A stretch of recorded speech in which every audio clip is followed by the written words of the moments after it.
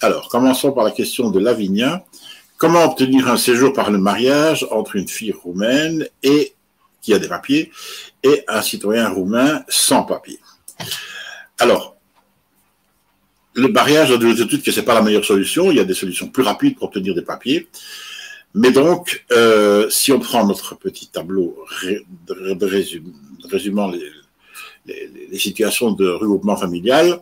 On voit que en ce qui concerne le regroupement familial, on se trouve ici dans le cadre d'un regroupement familial avec euh, une européenne, donc euh, puisque Madame est roumaine et qu'elle a des papiers en Belgique en tant que roumaine, donc on se trouve en qualité de conjoint d'un Européen.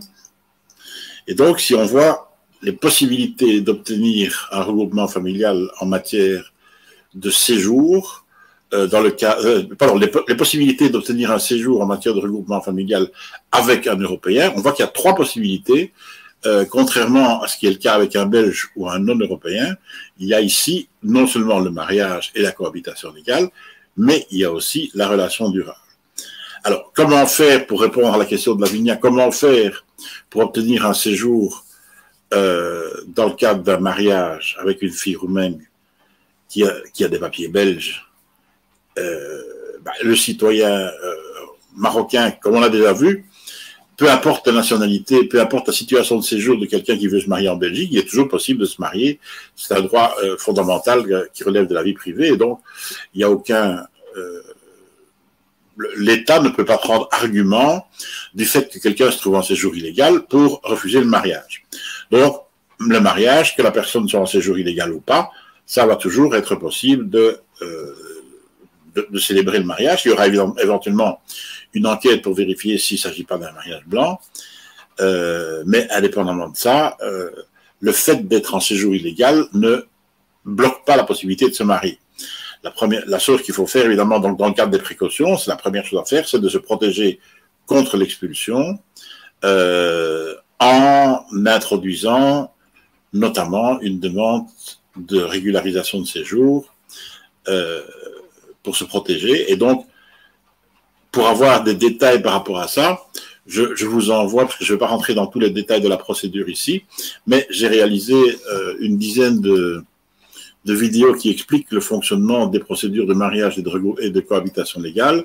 En fait, il suffit d'aller dans les playlists que vous trouvez sur cette chaîne et vous avez euh, une, une playlist qui est justement mariage et cohabitation légale dans laquelle on explique les différences fondamentales entre les deux procédures, la manière dont se déroule la procédure de mariage et cohabitation légale, les, documents qui sont nécessaires, euh, comment se protéger justement contre l'expulsion quand on est en séjour illégal, comment faire la preuve de sa résidence malgré le fait qu'on est en séjour illégal.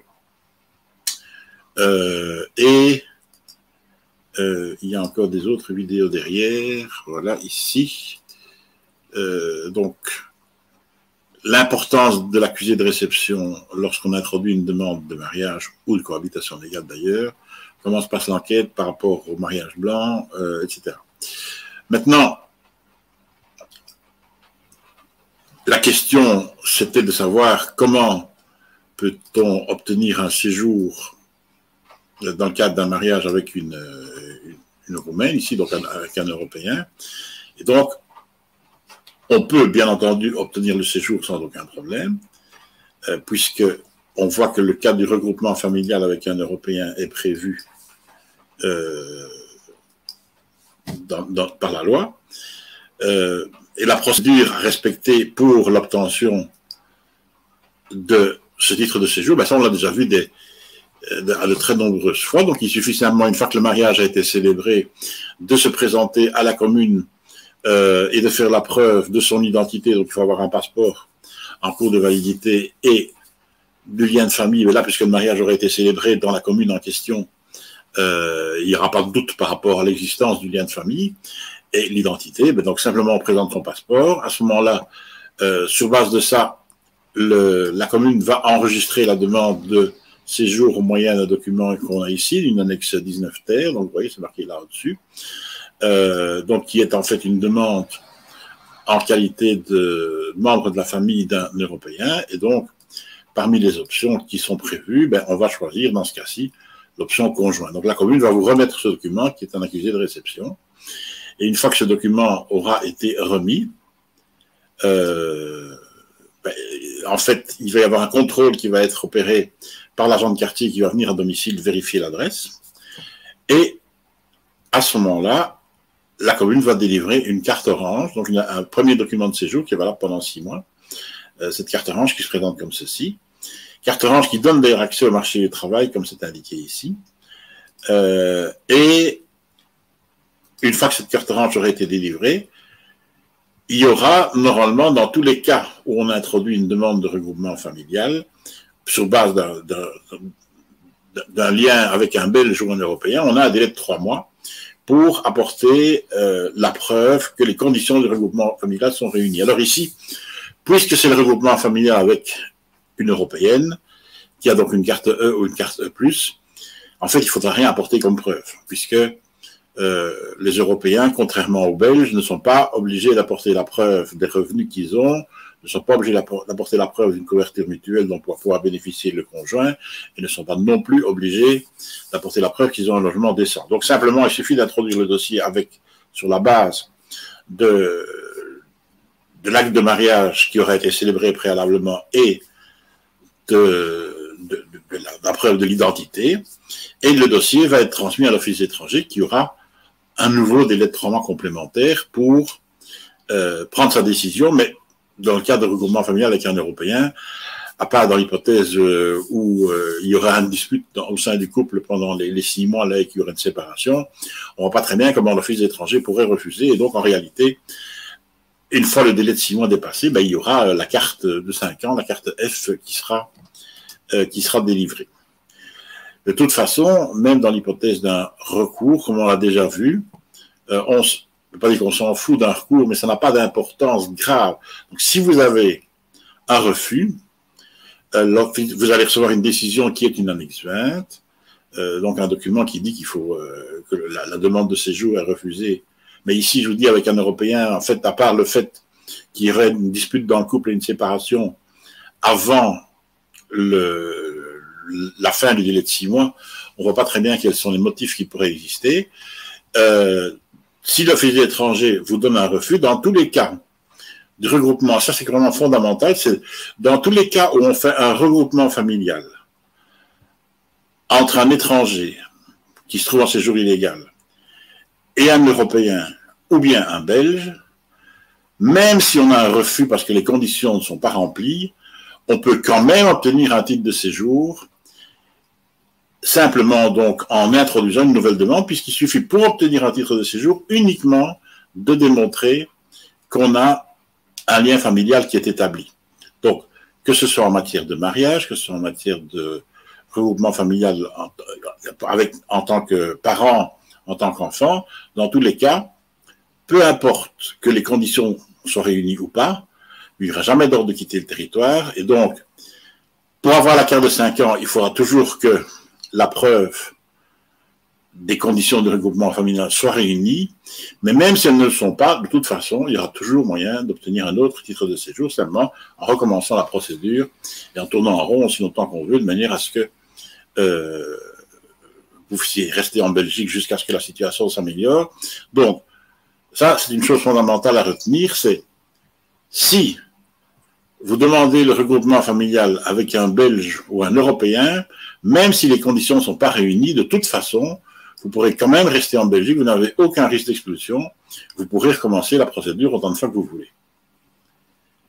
Alors, je disais au début que, en ce qui concerne le, le cas du, de notre personne ici, donc de notre Marocain qui veut bénéficier du regroupement familial euh, avec euh, sa, copine ou sa compagne roumaine, il y a des solutions plus efficaces.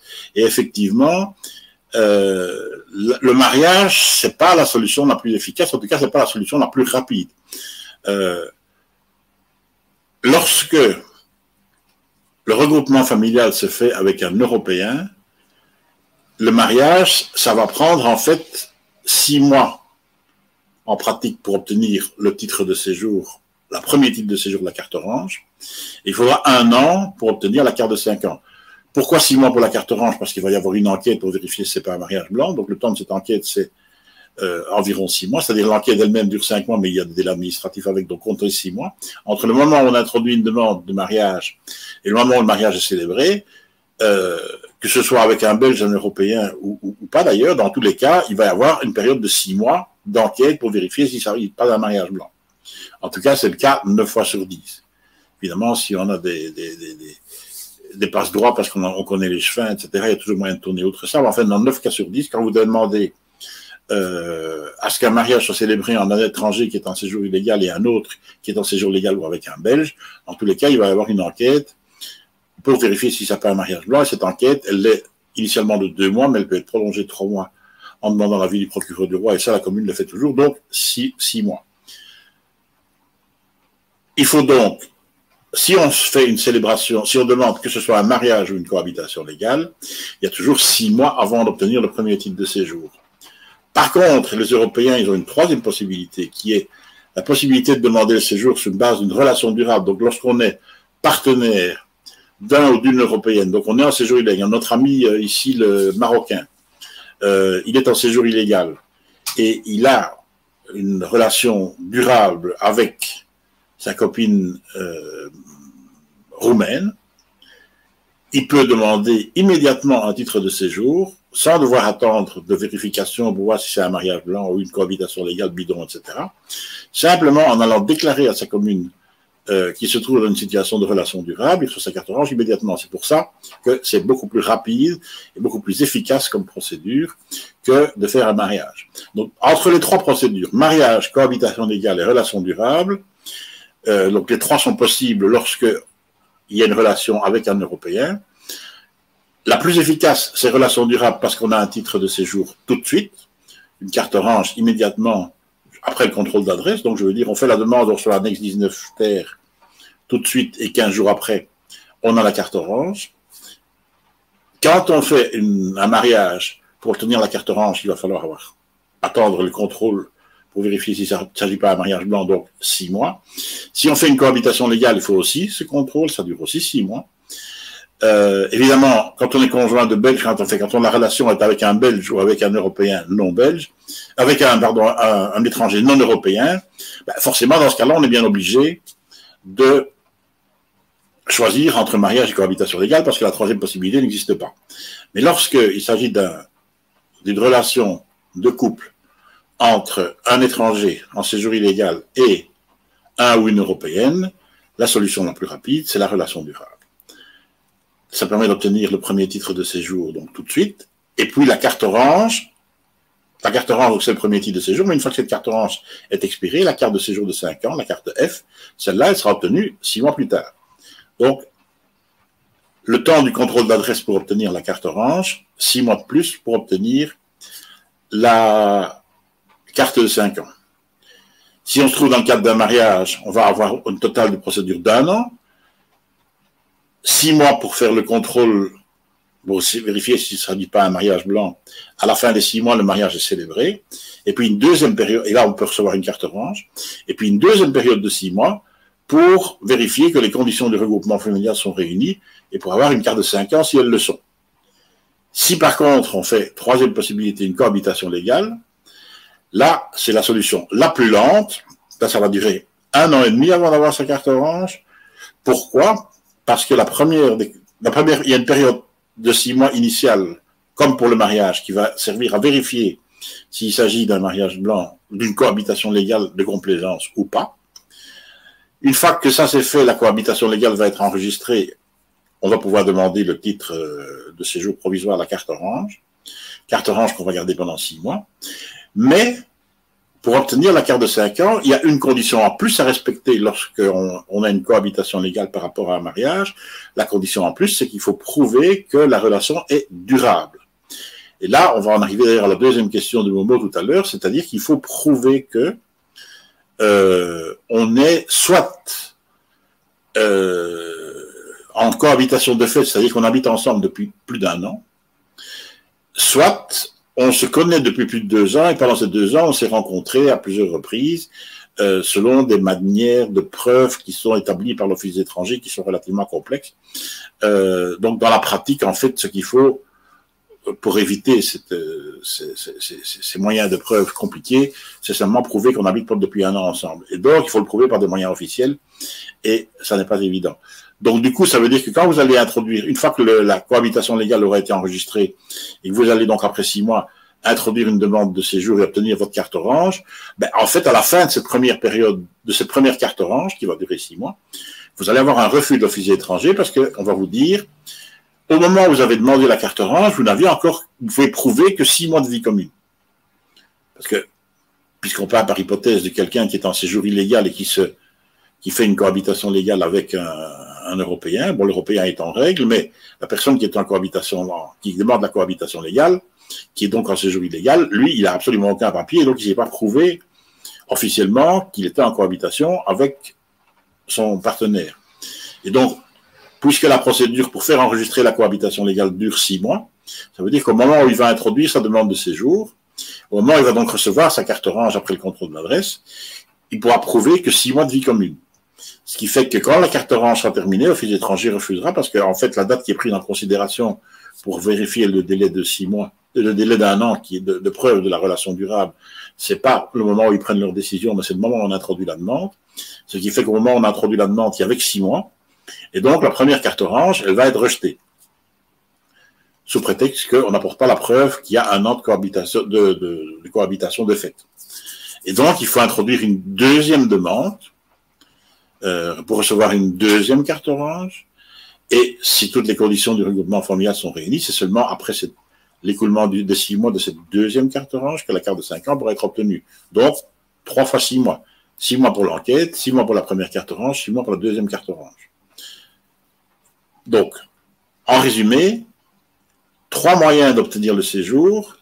La plus rapide, c'est la relation durable, parce qu'il suffit de faire une déclaration de relation durable à la commune vous êtes cru grosso modo sur parole, vous aurez trois mois pour apporter des preuves de cette relation durable, mais pour l'obtention de titre de séjour provisoire, vous pouvez obtenir le titre tout de suite, donc simplement contrôle d'adresse, et après 15 jours, vous avez votre carte orange, et après 6 mois, vous avez la carte de 5 ans. Deuxième procédure qui est celle-là de 1 an, c'est celle du mariage, dans laquelle vous allez avoir deux périodes de 6 mois, une première pour la vérification du fait qu'il ne s'agit pas d'un mariage blanc. Et puis, une fois que le mariage est célébré, la demande de séjour qui va d'abord aboutir à une carte orange pendant six mois. Et donc, avant d'avoir la carte de cinq ans, ça fera un an. Et alors, la troisième procédure, la plus lente, qui est celle de la cohabitation légale, dans laquelle il y a trois périodes de six mois. Donc, première période de six mois, le contrôle, qu'il ne s'agit pas d'une relation de complaisance. Deuxième période de six mois, la première carte orange, mais qui va aboutir à un refus parce qu'on n'aura pas la preuve d'une cohabitation de fait d'un an. Et troisième carte orange, celle-là qui va aboutir au titre de séjour à la fin, pour autant que les conditions de regroupement familial soient réunies. Donc, moralité, quand vous êtes en relation de couple avec un Européen, il vaut toujours mieux. Donc, vous êtes sans papier en relation de couple avec un ou une européenne, il vaut toujours mieux faire une simple demande de séjour sur base d'une relation durable que d'introduire un, une demande de mariage ou de cohabitation légale. Ça va beaucoup plus vite. Alors, ça, c'était la réponse à la première question, donc, qui était celle de, euh, de Lavinia. Donc, je reprends la question. Comment obtenir un séjour par le mariage entre une fille roumaine avec des papiers belges et un, citoyen marocain? Donc, on a vu, par le mariage, on fait célébrer le mariage, mais il va y avoir cette période de six mois de contrôle. Et puis, on obtient une carte orange, et après, pour six mois également, et puis après seulement, on aura la carte de cinq ans. Mais donc, il y a un moyen plus efficace qui est simplement de déclarer une relation durable, et on aura une carte orange tout de suite. Alors, j'ai pas dit qu'il fallait euh, abuser de la situation. Mais vous aurez compris tout de suite que si vous êtes dans une relation de couple avec un Européen, il vaut mieux, même si votre but c'est de vous marier ou de faire une cohabitation légale, parce que vous voulez officialiser votre union, il vaut mieux toujours utiliser la troisième voie, qui est celle qui consiste à demander le séjour sur base d'une relation durable, puisque celle-là, elle vous permet d'avoir un titre de séjour en 15 jours, ce qui est la plus rapide des solutions, il n'y a pas de possibilité autre. Par contre, lorsque c'est un mariage, une relation de couple entre un, un étranger en séjour illégal avec un Belge ou avec un non-européen, il n'y a pas moyen d'utiliser cette procédure-là.